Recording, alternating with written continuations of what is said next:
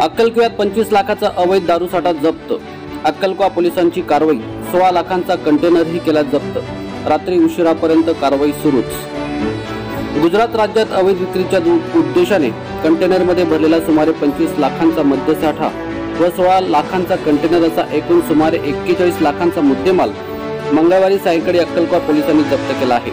या प्रकरणी दोघांना ताब्यात घेण्यात आले आहे. एकोणतीस मार्च रोजी नेत्रंग शेवाळी महामार्गावरील अक्कलकुवा शहराजवळ असलेल्या हरी पॅलेस येथे संशयित कंटेनरची क्रमांक एम एच झिरो चार जे यू एक्केचाळीस पंचवीस पोलीस निरीक्षक पठाण पोलीस उपनिरीक्षक रमेश पाटील पोलीस नायक अजय पवार देविदास विस्पुते गिरीश सांगळे संदीप महाले शरद पाटील यांनी तपासणी केली.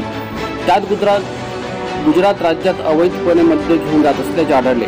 कंटेनरला अक्कलकुवा पोलीस ठाण्यात आणून बॉक्समध्ये असलेल्या देशी विदेशी मद्यासह बियर असा सुमारे पंचवीस लाखांचा मद्यसाठा मिळाला.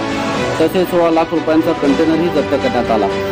रात्री उशिरापर्यंत कारवाई सुरू होती. पोलीस अधीक्षक T R Patil upper police अधीक्षक विजय पवार उपविभागीय पोलीस अधिकारी संभाजी सावंत पोलीस निरीक्षक इशामुद्दीन पठाण यांच्या मार्गदर्शनाखाली गुन्ह्याचा पुढील तपास सुरू आहे.